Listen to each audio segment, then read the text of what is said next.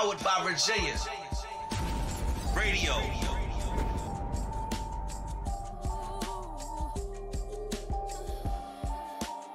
There's a lot going on. Um, they did a search.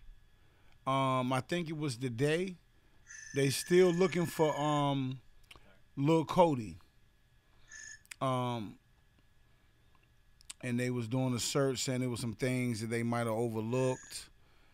And uh, you know, the family had held a, uh press conference about a week or so ago.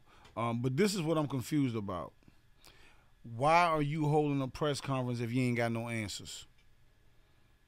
If if y'all think that he alive, why haven't don't why don't nobody know anything? You holding a press conference to tell us what? What we already know? You know what I'm saying? You know, somebody knows something, but ain't nobody speaking. You know, they say that the father's innocent or whatever the case may be. You know what I'm saying? But ain't no somebody knows something somebody knows something. For everybody not to know nothing, everybody sure do want to do a lot of talking. You know what I'm saying? so I, I don't get it. If you don't know nothing, we need you to stop talking. So you know they had to search for Cody or whatever, and um, you know I, I mean you know uh, I ain't gonna say how I feel about the situation, but you know I believe that the whole story is bogus, and I believe that something had already happened to him. You know what I'm saying? Um, so.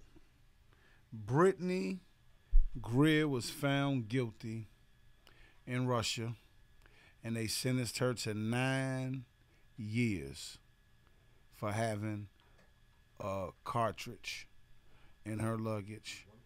One. And they gave her nine years in a Russian penitentiary. Uh, now they was, you know, they was trying to negotiate and get her back. The Russians wanted uh, some dude over here that America had, and then they wanted another guy who was something like an assassin or hired hitman or something. They wanted exchange both of them for Brittney, and the judge told her that she did it with criminal intent. She she basically played for her life, you know and the judge told her he believed that she did it with what type of criminal intent was one cartridge of uh gonna cause what type of criminal criminal intent was that What type of cartridge? uh THC cartridge for the vape pen Dang. What? She in trouble for that. Are you yeah kidding me? yes and she was sentenced to nine years today in a Russian prison That's and I- I mean, you know, if they don't get her out, her whole WNBA career is over. Everything, you know what I'm saying, and um, that's insane.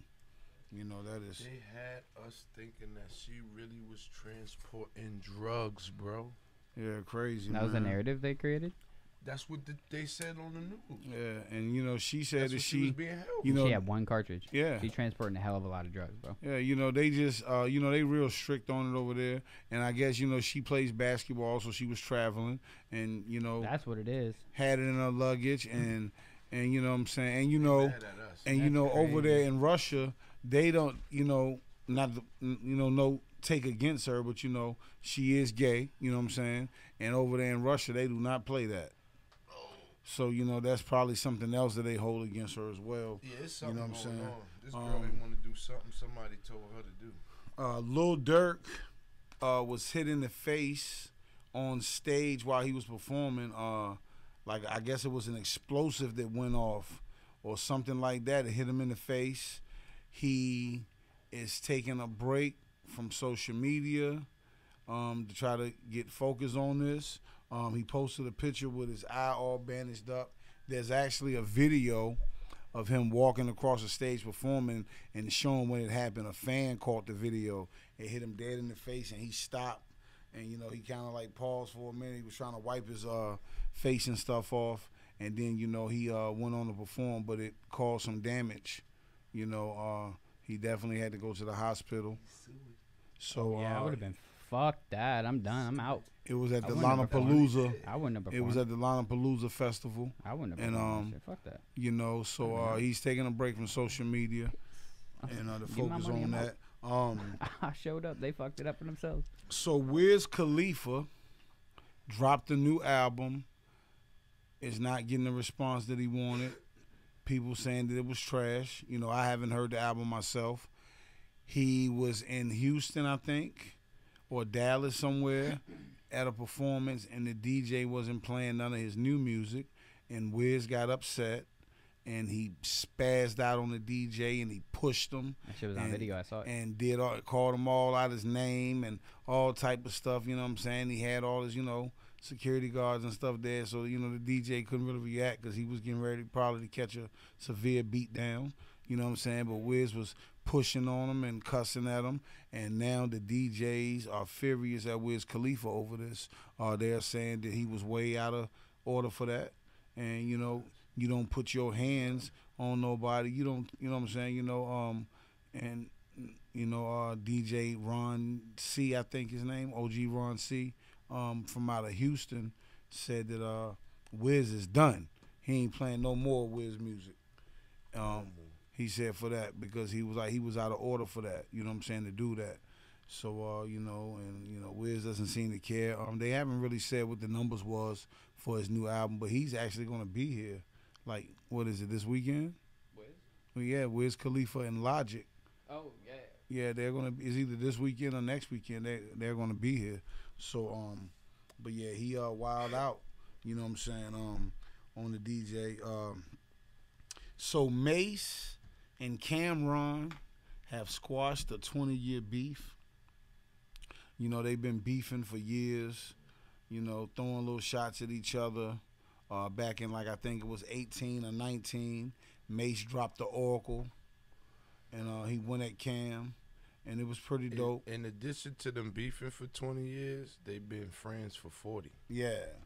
And uh, Mase did an interview saying that he, he missed Cam, and uh, somebody set it up for them to talk over the phone.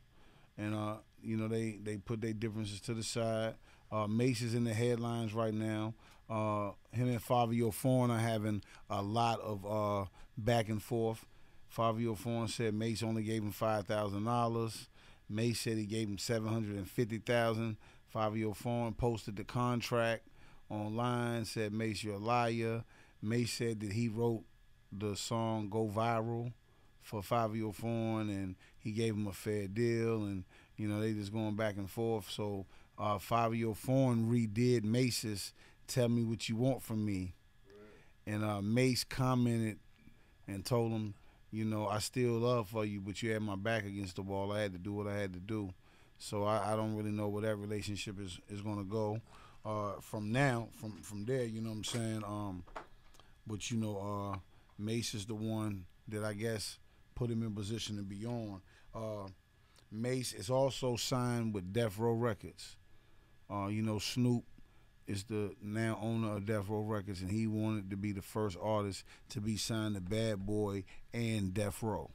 You know what I'm saying? So he uh, is signing with uh, Death Row Records, and he's in the studio working on music. Um, as dope as Mase was in his prime, um, me personally, I don't know if people are going to be checking for Mase now, and not even because he couldn't make music. I think he's created so many illusions. You know, you left the game to to do the pastor thing, then you came back, it didn't really work. Then you left, and you came back as Murder Mase after you said you was going to be a pastor, and then you came back as Murder Mase. And now you got three big diamond chains on, and one got a, a piece that say Jesus. Yeah, it, you know. bag on big. So you know, I I, I don't really I'm know. confused myself. Like if, I'm um, not, like I I'm I'm not unholy. I'm a holy person. But I'm saying like you you can't combine them like that. Like you, what are you doing? Yeah, bro? like he doing so much. Like, Um, don't do it like that. You can be a rapper that raps and add God in your rap, but come on, bro. What are you? Yeah, I'm confused at what, what so I'm uh, yesterday was a year of the Dipset versus Lox Verzuz, and uh, Jadakiss has sat down with Complex Magazine, and Jada said that Def Jam renegotiated his contract over that. Um, over the verses because it was such a big thing. Uh, his numbers went up on everything: concerts, walkthroughs, features, uh, TV features, anything. Um, the Lox as a whole streams went up 215 percent, and to book them as a group, uh, numbers went up. Uh, Jada's net worth also went up over a million dollars since then. Um, Dope. you know what I mean? Uh, so Def Jam renegotiated renegotiated his contract, and uh, it's crazy that a 20 year freestyle, a 20 year old freestyle did that. That just goes to show you how uh, two things. It shows you two things. How something can be really dope and overlooked, and how something that you can create that's timeless is still sound relevant today. See, a lot of artists today don't make relevant, don't make timeless music. They make moment music. A 20 year old freestyle, people went and streamed it like they never heard it before. You know what I'm saying? They did. Yeah, you know, and it uh and you know, and the era of music has changed now, you know what I'm saying? But uh shout out to Jada, you know that's my homie. You know what I mean? Uh shout out to the uh to the homie and uh and he deserved to get that bag. You know what I'm saying? He deserved to get that bag. You know what I mean? Um so we got to give a big shout out to my dogs, Double XL and CEOP. Y'all know they got the Goat Talk show. It just got picked up by the CW. You know what I'm saying? And uh, that's big. And they are going to be coming on Feed the Streets. Uh, I was talking to Double XL yesterday. Um, for those of you don't know, me and Double XL go way back. And uh, uh, we trying to set the date, maybe next Thursday, if not the following Thursday. He said he was gonna get back with me by tomorrow. But congratulations to them on what they're doing. And you know, CEOP is the reason, one of the reasons why I started doing the hip hop news. Uh, he had hit me up one day, and he was like, I was checking out the show, and he was like, I really like your energy, and y'all y'all work good together. He was like, but you're a very informative dude. You know, you should add a couple of little things to that. And then my homeboy Keem who was trying to get me to do a podcast before Loud wanted me to do a podcast, was telling me the same thing. So I wanted to give you know give him his flowers. You know what I'm saying? That's what's and up. um, you know, so I incorporated that into the show. You know what I'm saying? Because CEOP was like, yo, he was like, you know, people would like that because you be up on things Definitely. certain people don't be on. So you know, shout Definitely. out to them. We gonna have them on the show. You know, I, I, And- I, I, I butt in sometimes, but you know me. It's eighty-eight percent of the time I let him do his thing. And, You and last but not least, hip hop news. That's how I figure out all my hip hop news. Last shit. but not least, Will Smith Oh, my God. apologized to Chris Rock. Uh, but do you think that the apology was too late? yeah. Do you think the apology was too late? Uh, he said that he tried Am I to the reach only- out Am to I Chris the only Rock one that's before. seen? I was about to say that. Am I the yeah, only one say that's seen the movie where that took place in the movie and then it took place in real life? Yeah, Am yeah, I the yeah. only one that's seen that video? Because everybody keep acting like Like they this didn't- is still real. Yeah. Well, he said that he tried to reach out to Chris, and Chris told him like, yeah, "I ain't really got no words for you right now," you know. And uh, he said that uh, him and Chris Rock's brother was actually really good friends, and that he don't know if their relationship is repairable now. And he said that Jada didn't put him up to it. You know what I'm saying? He said Jada didn't put him up to it. It stemmed from him and him and Chris had previous issues. So I don't know really know what those issues was, but he said that they had um previous um issues and um that was something that sparked it off. Well, time that. You know wasn't what the I'm first saying? time he. My shot- brother told shot- me a while ago Yeah. that that shit was staged, and I ain't really.